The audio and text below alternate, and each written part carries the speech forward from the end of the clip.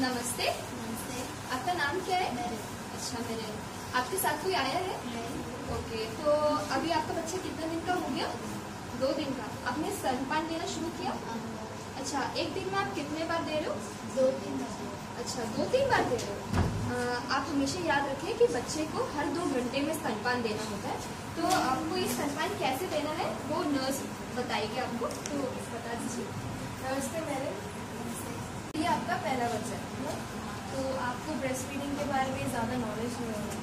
तो आज मैं आपके सामने कुछ ब्रेस्ट फीडिंग के बारे में कैसे देते हैं तो इसके प्रैक्टिस प्रैक्टिस के बारे में मैं आपको बताना चाहूँगी।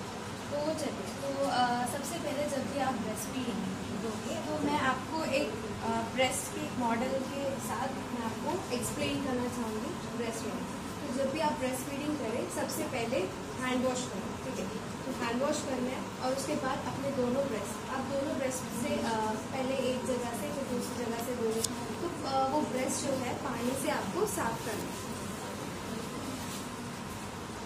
तो है ब्रेस्ट का तो इससे मैं आपको सिखाऊँगी कि कैसे ब्रेस्ट पहले हाइजीन मेंटेन करें तो पहले मैंने कॉटन लिया है, उससे पानी में, पानी से आपको साफ़ करना है। तो एक स्ट्रोक पहले पूरा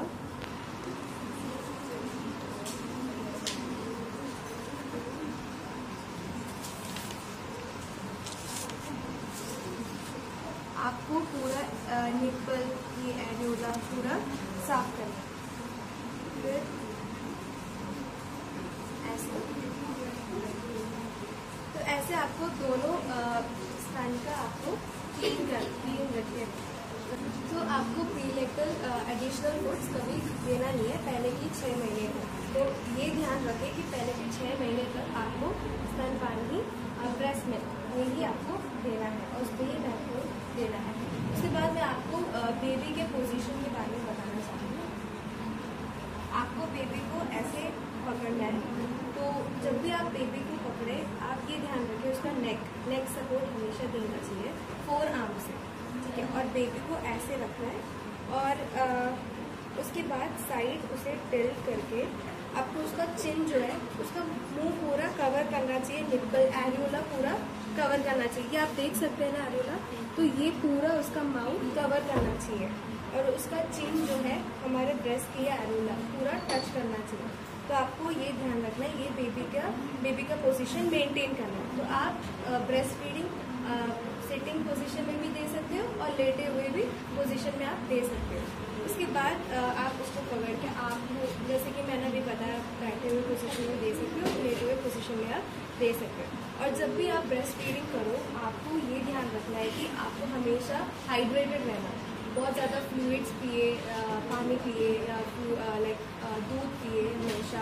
तो अच्छे से खाना पियो, खाना खाओ और पानी पियो अच्छे से ताकि ब्रेस्ट फीडिंग का मिल्क जो उसका प्रोडक्शन अच्छे से हो।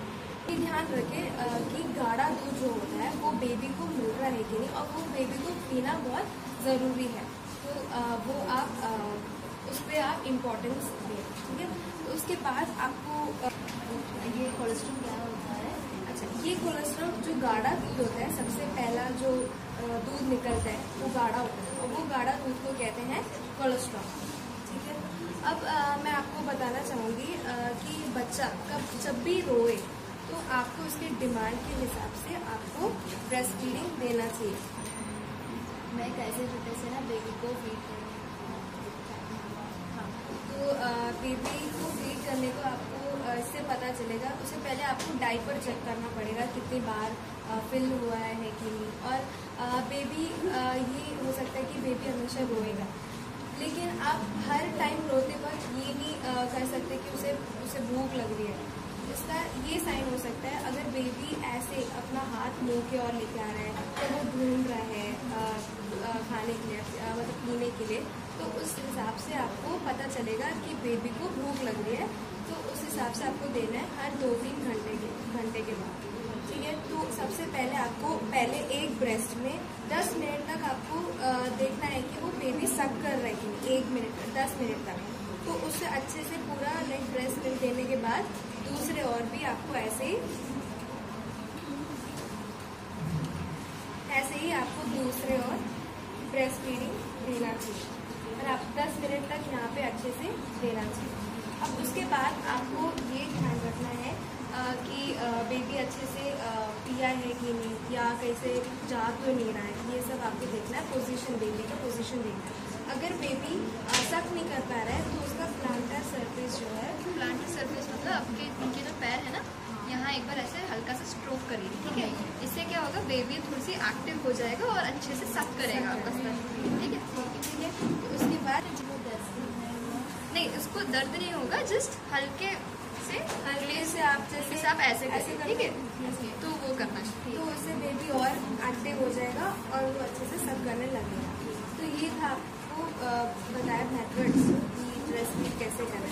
तो उसके बाद बेबी को फ़ीड करवाने के बाद दोनों ब्रेस्ट क्लीन कर लेना साफ़ कर लेना ठीक है? उसके बाद उसके बाद बेबी को ऐसे उठा के राइट साइड पर रखना राइट साइड पर ऐसे रख के बर्पिंग ठीक है? ऐसे ऐसे। उसके पीछे बर्पिंग करना इनको क्या है?